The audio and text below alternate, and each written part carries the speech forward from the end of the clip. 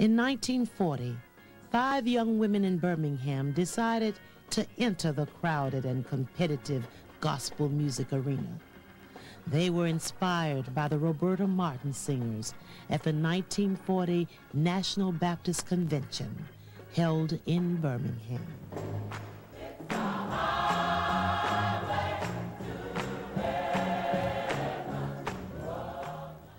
And we heard the Roberta Martin group sing, It's a Highway to Heaven.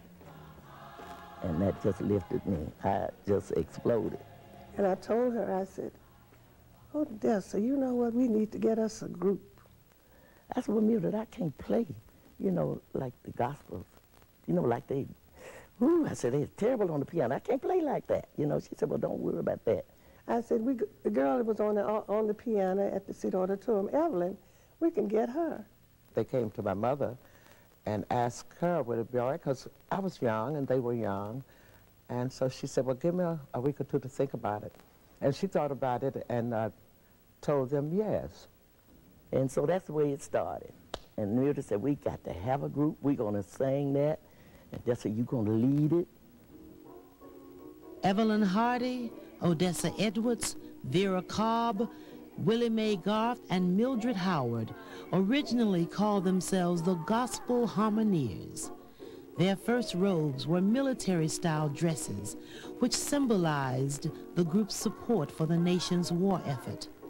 With their young group in place, the ambitious singers set out to become part of the gospel movement sweeping across the country we started rehearsing every day, mm-hmm. and Evelyn worked us to death. Mm-hmm. And my and mother, but made us. My mother used to come in and say, right. "Go home, go home, go home now. Everybody, this is enough for the night." So she fixed it. Okay, you know how she fixed it? She took the practice from Monday and brought it around the house. yeah.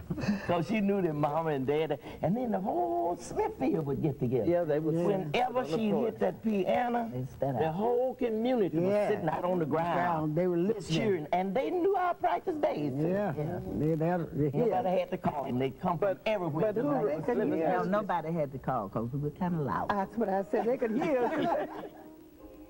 A few months after the Harmonettes were formed, they began touring the state and their lives changed dramatically. They were so popular in Birmingham that A.G. Gaston, one of Alabama's leading entrepreneurs, hired them to sing on his weekly radio program. Throughout the early 1940s, the young women toured the South, but national recognition eluded them. However, in 1948, they were invited to appear on Talent Scouts, a national radio program run by Arthur Godfrey. Out of that engagement, the Harmonettes signed a recording contract with RCA Victor in New York in 1949. During their first session with RCA, they recorded Move On Up a Little Higher and In the Upper Room. The recordings were not very popular, and RCA canceled the group's contract.